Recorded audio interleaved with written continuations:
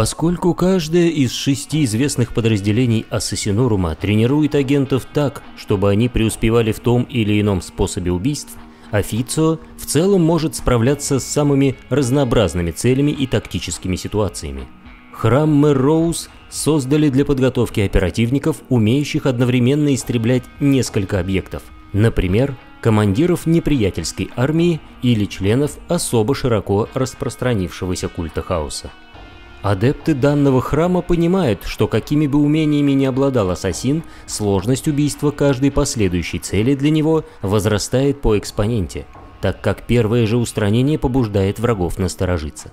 По этой причине агентов Мерроуса превращают в живое оружие. Они могут уничтожать большое количество людей, не применяя никакого оснащения, кроме собственных тел, поскольку даже самое тщательно обслуживаемое снаряжение может отказать в нужную секунду. Такие ассасины обычно вторгаются в зону скопления объектов и как можно быстрее расправляются со всеми присутствующими целями второго порядка. Основателями храма Мэрорус в сороковом тысячелетии стали еретехи, выполнявшие особые поручения Официо Ассасинорум. Столетия ушли на то, чтобы вынудить Адептус Механикус разработать нелегальную технологию, требующуюся для создания новых уникальных агентов разгорались настоящие войны, а в оплату за необходимые исследования и испытания жрецы Марса получили одну из СШК. Летопись храма Мэроуз началась с огромного секретного лагеря для экспериментов, где тысячи заключенных подверглись переработке в генетический материал, нужный для производства первого ассасина. Ее звали Легенштрассе – и в ее организме запретные технологии сочетались с генами, полученными от скрещивания мутантов и взятыми от ксеногибридов, вероятнее всего тиранитских подвидов. Предполагалось, что Лигенштрассе, как и весь храм, не будут нуждаться в оружии для выполнения заданий. Каждого агента Мероуз планировали вывести на уровень подготовки, при котором он гарантированно мог убить свою первую цель, после чего особые мембраны в его теле поглотили бы биомассу жертвы. Получив новый генетический материал, ассасин запустил бы стремительные мутации организма и продолжил устранять объекты, поглощая их плоть и становясь все более могучим. Предполагалось, что оперативника этого храма будет практически невозможно убить.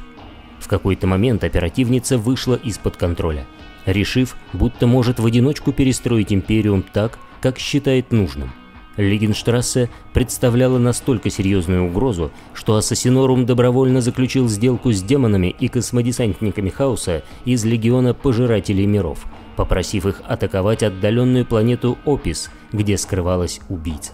Официо потратил десятки лет на то, чтобы засеять невинный мир культами темных богов и подтолкнуть население к мятежу против Императора – это стало причиной расследования, которым занялся лорд-инквизитор Кэкропс с помощниками. Но по прибытии на Опис самого агента Трона и почти всю его свиту, за исключением одного сотрудника, перебил оперативник Виндикар. Вину за деяние возложили на растленных властителей планеты. Опису фактически объявили войну, чтобы восстановить порядок в мире, туда направили имперскую группировку воздаяния, состоящую из десятков полков Астромилитарум и внушительного соединения Астартес из Ордена Имперских Кулаков под началом Дарната Лисандра. В Ассасиноруме втайне надеялись, что Легенштрассе попытается ускользнуть с планеты, охваченной сражениями, и ей придется выйти на свет – после чего у Официо возникнет шанс наконец расправиться с убийцей, находившейся в бегах почти тысячу лет. На поле битвы оперативница демонстрировала почти божественную мощь. Во время схватки в городе Кре она успешно противостояла капитану Дарнату Лисандру, отделению его штурмовых десантников и ветеранам первой роты – а также чемпиону Ордена Имперских Кулаков и магистру храма Кулексус, одновременно уклоняясь от снайперских выстрелов отделения скаутов и лорда Скулта из склада Виндикар. Тогда погибли несколько Астартес и госпожа Синцелла, повелительница Кулексусов.